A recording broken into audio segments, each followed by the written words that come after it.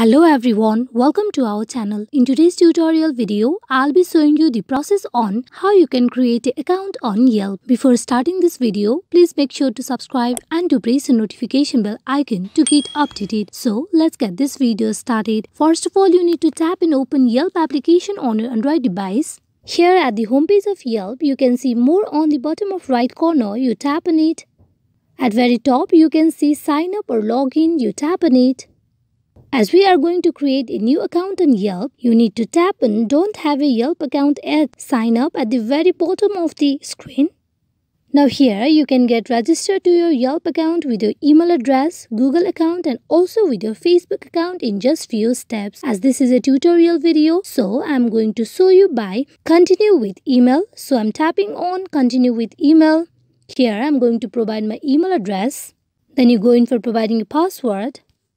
Then you tap on next. Now here you need to provide your first name, last name, then you need to select your country, then tap on next.